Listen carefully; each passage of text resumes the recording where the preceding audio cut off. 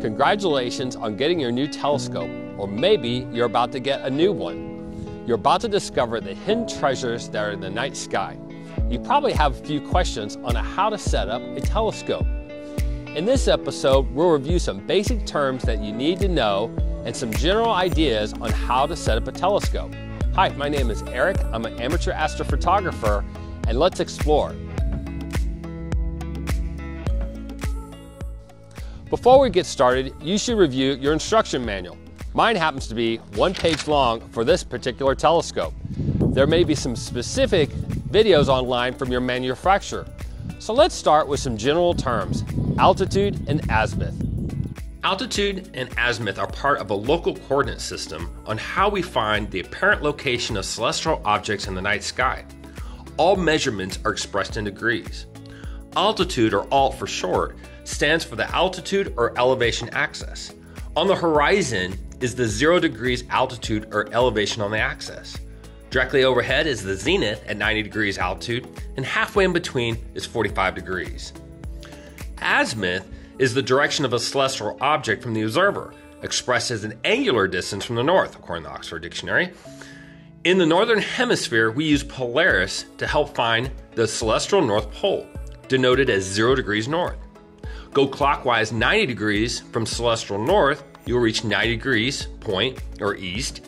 Another 90 degrees clockwise is south at 180, and another 90 degrees clockwise is 270 degrees or west. This coordinate system works best with alt azimuth mounts. After initializing and star aligning your mount, armed with a local position and time, you're able to slew your telescope to the apparent location of a celestial object that is potentially viewable from your location that is above the horizon. For example, if the moon is halfway up the horizon, by telling your app or hand controller to find the moon, its apparent position might be 270 degrees in azimuth and 45 degrees in altitude. Before we move on, let's talk about degrees. There are 60 arc minutes to one degree, and there are 60 arc seconds to one arc minute. So the apparent location of a celestial object has a precise location that is always moving due to the rotation of the Earth or its own movement in space. We also express the apparent width of objects in the night sky in degrees as well, like the sun, moon, planets, galaxies, nebulas, constellations, etc. So, for example, the sun is approximately one half degree apparent width or 32 arc minutes. The moon has an apparent width of 29.4 to 33.5 arc minutes, depending on its orbit, similar to about half a degree wide. And as we recently witnessed across North America, the moon was at the right spot in its orbit to give us a total eclipse of the sun on April 8, 2024. It's important to note that celestial north is not the same as true north or magnetic north. Celestial north is about one degree off from true north. However, magnetic north varies greatly due to your location on Earth due to magnetic declination. Magnetic declination is the angular distance between true north and magnetic north. Here just south of Atlanta, magnetic north is over 5 degrees west of true north. So let's talk about another coordinate system that is used by astronomers in equatorial mounts. Let's start with what we use here on Earth latitude and longitude. Latitude measures the distance north or south of the equator. It is expressed in degrees. So 0 degrees latitude is equal to the equator. 90 degrees north is equal to the true North Pole. 90 degrees south equals to the true South Pole. The poles are where the Earth spins on its axis. Longitude measures distance east or west from the prime meridian. The prime meridian is an imaginary line from Greenwich, England, dividing the Earth into two hemispheres, west and east. It is measured in degrees, minutes, and seconds. For astronomy, the sky has a similar coordinate system. There's a celestial North Pole and a celestial South Pole. And halfway in between the North and South Poles is the celestial equator. To help find objects in the night sky with this system, we describe celestial objects either north or south of the celestial equator in degrees. If the object is south of the celestial equator, we use negative degrees. So, for example, Antares is negative 26 degrees and 29 minutes, south of the celestial equator. right ascension is similar to longitude on Earth in the prime meridian and Greenwich, England. The meridian on the celestial sphere is determined on where the sun falls on the celestial equator at the spring equinox. The 360 degree circle around the sphere is subdivided into 24 parts called hours. So as each hour passes, one hour advances on the celestial sphere. Well, actually, slightly a little less at 10 seconds each hour. One solar day is 24 hours when one sidereal day is about 4 minutes short of that. So this is why constellations are just a little further west at the same time each night unless you happen to live at true north or true south poles. Equatorial mounts are polar aligned with the celestial poles. Once the telescope has slewed to its declination location and right ascension location, the mount can track the object on one axis, adjusting for the rotation of the Earth. Telescope mounts fall in two different categories alt azimuth mounts and equatorial mounts. Alt azimuth mounts are great for observation and planetary imaging. They are perfect for beginners. Some companies sell their telescopes that are attached with these types of mounts, like the Celestron NexStar series. Some alt azimuth mounts come with a hand controller, and others utilize an app from your mobile device and still others like my Skywatcher SolarQuest Alt Azimuth solar mount use both GPS and a HelioFind solar finder to locate and track the sun during the day. And more basic mounts are moved manually by adjusting knobs or through cables. Setup is generally easy with an alt azimuth mount. When setting up your equipment, ensure it's on stable ground. I normally get my equipment away from streetlights or the road. Next, you want to extend the individual legs on your tripod and ensure that the mount is level. After providing power to your mount, go through the setup process on your hand controller or app. After performing a basic star alignment process, you are ready to go and explore the night sky. If you're getting into this hobby, I recommend alt azimuth mounts. They're mostly affordable and easy to set up. Strain wave mounts like the ZWO AM3 or 5 or the new Skywatcher Wave 100i, 150i, and many others can operate in both alt azimuth and equatorial modes. Now let's look at equatorial mounts. Equatorial mounts and their strain wave mounts operating in equatorial modes are both for astronomers and astrophotographers. Once polar aligned, these mounts are able to track objects in the night sky for extended period of time with a higher accuracy. Depending on the mounts, they can also be moved through an app, hand controller, or manually through knobs and or cables. I like to review my setup for the Skywatcher HEQ5 Pro computerized equatorial mount. This equatorial mount has a 30 pound payload capacity, a hand controller with 42,900 object database, a built in polar scope with an illuminator, two 11 pound counterweights, and a dovetail saddle. Setting up these mounts have some common steps. However, your setup may vary. Please make sure to reference your instruction manual. I normally set up my equipment once the sun is no longer shining on the spot where my telescope is going to be set up, but prior to complete darkness. So first, find a good spot. Once again, look for dry, stable ground. Select an area that has a good view of the night sky while avoiding any unwanted lights. 2. Start with magnetic north in the northern hemisphere. I use a compass to help me locate the approximate location of magnetic north. Since I know that my magnetic declination at my location is about 5 degrees to the west of true north, I'll point my mount and telescope about 5 degrees to the right or clockwise to approximately true north. This is a great starting point. 3. Level the mount. My HEQ5 features a bubble level. I carefully extend or retract the tripod legs until the bubble is in the middle of the inner marked circle. 4. Assemble your support equipment. Since I'm at home, I run an electrical extension cord to my equipment. Otherwise, I'll use a portable power supply. At this point, I usually set up a portable table and a chair and place my accessories there like eyepieces, filters, covers, etc. 5. Attach your telescope. Be sure that all the knobs are tightened, especially on the mount, prior to placing your telescope on the saddle. The last thing you want is your telescope to flop down because some knob was not tightened. 6.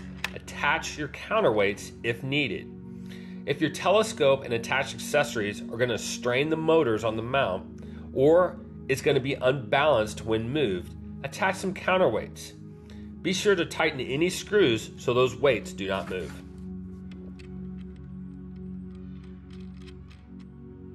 Seven, balance your telescope. This is a two step process. It involves positioning your telescope and counterweight rods horizontal to the ground. You want to move your counterweights so that your rig is balanced.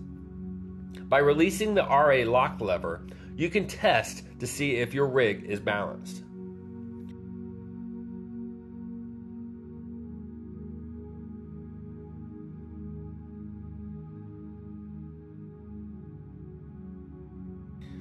The other test is to see whether it is balanced over the saddle attachment. Carefully release the declination lock lever.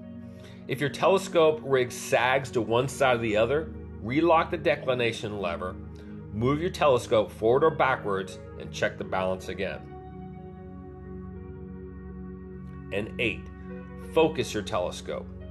If your eyepieces or imaging cameras have never been focused, I normally take this opportunity before complete darkness to focus my telescope.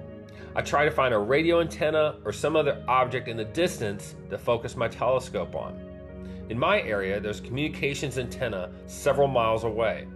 I'll normally point the telescope to the top of that antenna on the red light. Once that is centered and focused, I'll ensure that any attached guide scopes, finder scopes, star finders are centered as well. Adjustments are normally made through screws and or hex wrenches. Now that my telescope gear has been set up in daylight hours, I'll wait for darkness. After nautical twilight, the brightest stars should be apparent in the night sky. So let's go over three final steps. First, check your focus again. Now that it is dark, I can point to the brightest star in the sky and focus. I'll cover how to get precise focusing with a Bahtinov mask and electronic focusers in another video. 2. Find Polaris if you reside in the Northern Hemisphere. You can find the Polaris star by using the end of the cup of the Big Dipper. Take those two stars that make the outer bowl and they will point as an imaginary line to Polaris. Polaris is now an altitude that is equal to your latitude in the northern hemisphere. Since Atlanta is approximately 34 degrees north, Polaris is about 34 degrees in altitude, pretty close to magnetic north. Third, let's polar align your mount. There are a couple of ways you can polar align the Skywatcher HEQ5 mount. I'll show you how to do it through the Skywatcher HEQ Polar Scope and using an app then by using the ZWO ASIAIR Wi-Fi camera controller. For the manual process, take the caps off the upper and lower ends of the RA axis so you can look into the polar scope.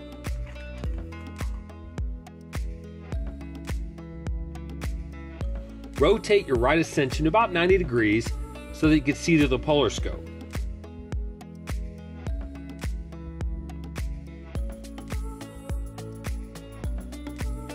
With the mount powered on, the reticle will be illuminated. You can adjust the lighting in the reticle through the utility function on the SynScan hand controller. When you look through the polar scope, the reticle may not be oriented correctly. I rotate the right ascension by hand on the mount so the circular clock diagram is oriented so that the zero is at the 12 o'clock position.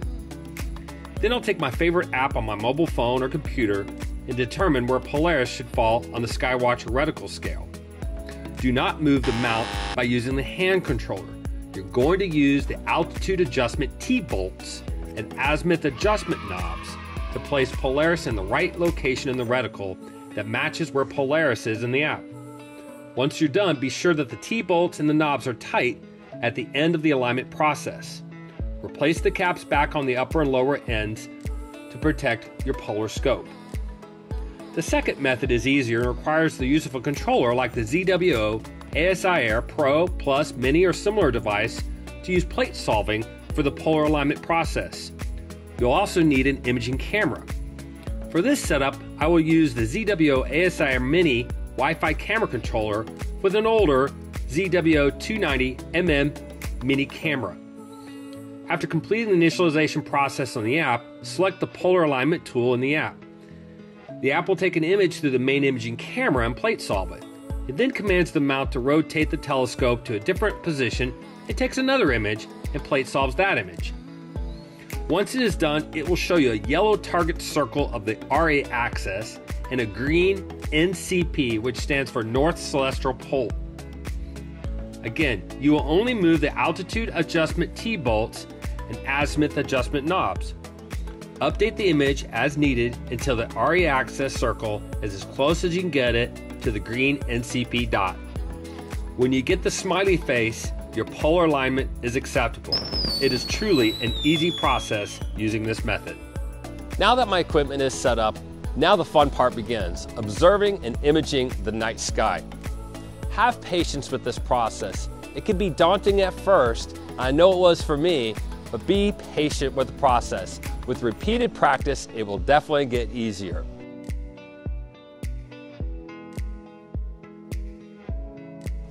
Astronomy compels the soul to look upwards and leads us from this world to another. Until next time, take care.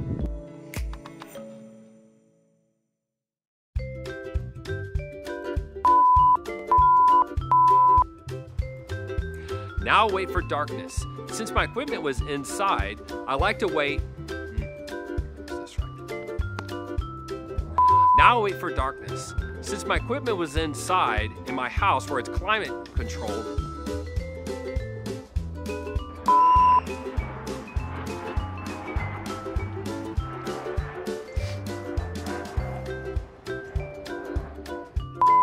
Congratulations on getting your new telescope, or maybe you're about to get one. You are about to explore the hidden treasures that are the night sky up close.